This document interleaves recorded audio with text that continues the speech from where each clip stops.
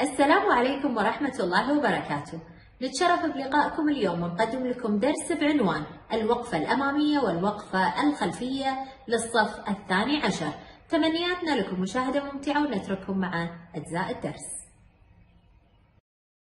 الإعداد البدني العام ويهدف إلى تنشيط الدورة الدموية. المشي بخط مائل مع تحريك الذراعين للجانب.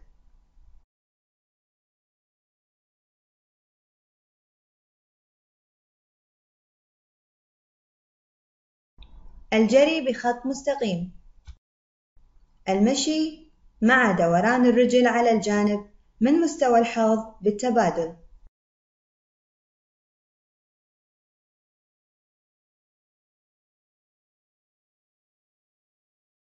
التقدم بالجري للأمام والرجوع للخلف بين الأقماع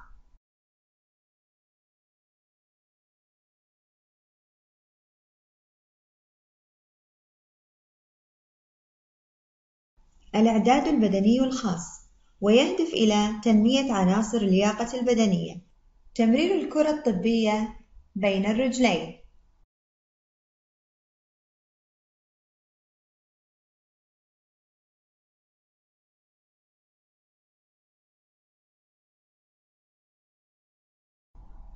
الوثب داخل الطوق مع ضم القدمين ورفع الكرة الطبية عاليا ثم الخروج بفتح القدمين قدما تلو الأخرى.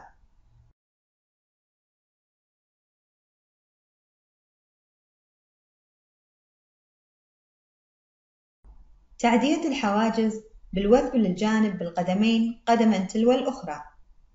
ثم الجري المتعرج بين الأطواق والعودة بخط مستقيم.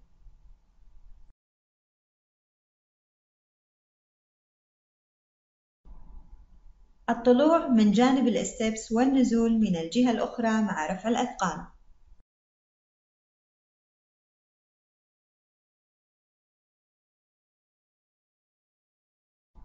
الوقفة الأمامية. الجزء التعليمي. من وضع الوقوف المواجه للأمام رفع الذراعين لمستوى الجذع فتح الرجلين باتساع الحوض وانزلاق القدم اليمنى للأمام للوصول إلى وضع الطعن الأمامي. يتم توزيع ثقل الجسم سبعون بالمئة على الرجل الأمامية وثلاثون بالمئة على الرجل الخلفية. مع لف بسيط لمشط القدم اليسرى للخارج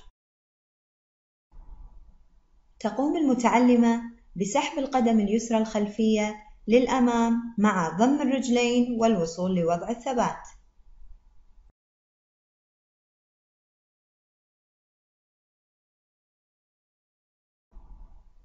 تكرار مهارة الوقفة الأمامية بالقدم اليسرى.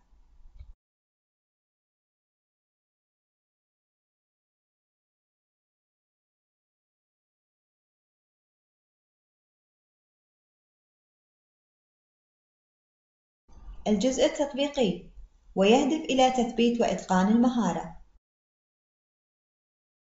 من وضع الوقوف أداء المهارة بالقدم اليمنى.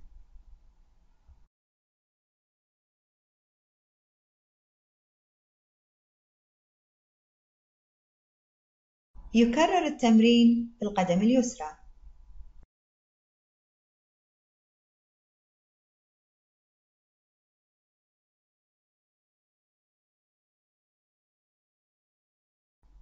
من المشي تقوم المتعلمة بأداء مهارة الوقفة الأمامية بالقدم اليمنى.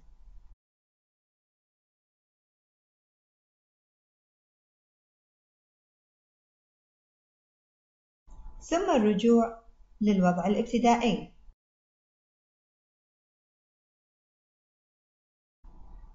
أداء التمرين من المشي بالقدم اليسرى.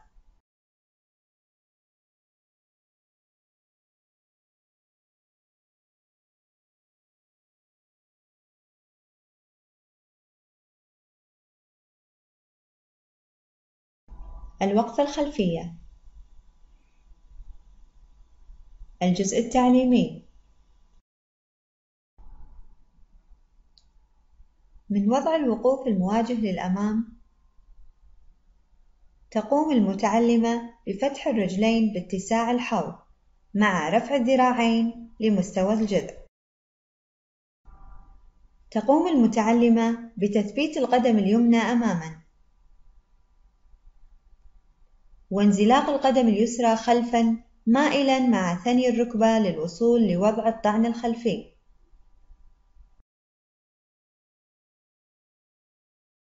وتوزيع ثقل الجسم على القدم الخلفية بنسبة 70% والقدم الأمامية بنسبة 30%. ولف مشط القدم اليسرى للخارج للوصول إلى الزاوية القائمة ثم سحب القدم اليسرى والعودة للوضع الابتدائي. الجزء التطبيقي ويهدف إلى تثبيت وإتقان المهارة. من وضع الوقوف أداء المهارة بالقدم اليمنى.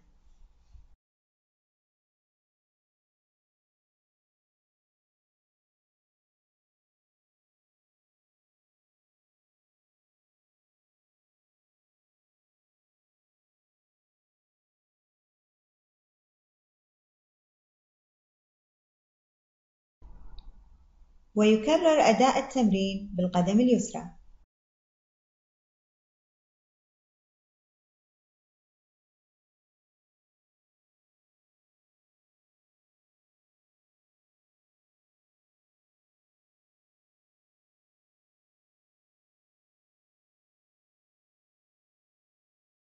من المشي تقوم المتعلمة بأداء مهارة الوقفة الخلفية بالقدم اليمنى.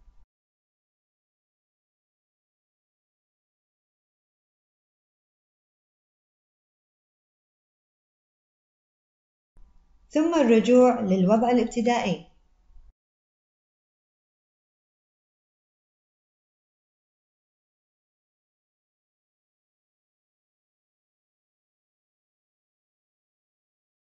ويكرر أداء مهارة الوقفة الخلفية من المشي بالقدم اليسرى.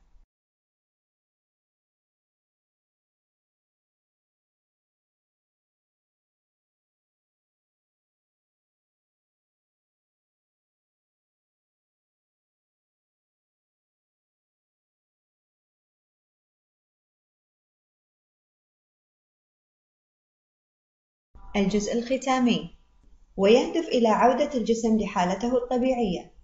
من وضع الوقوف تنظيم عملية التنفس.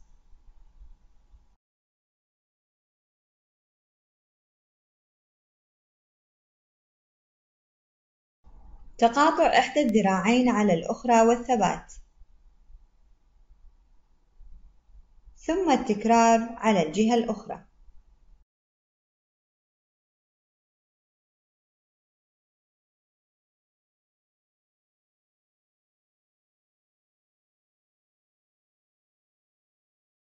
من وضع الجثو ميل الجذع للجانب مع رفع الذراع فوق الرأس والثبات.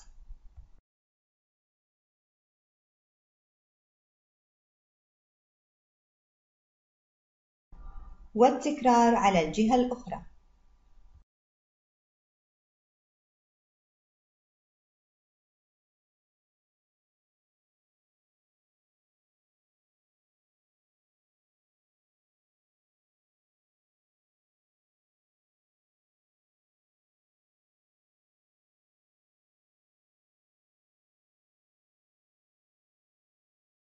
رفع الكتفين لأعلى ثم خفضهما لأسفل.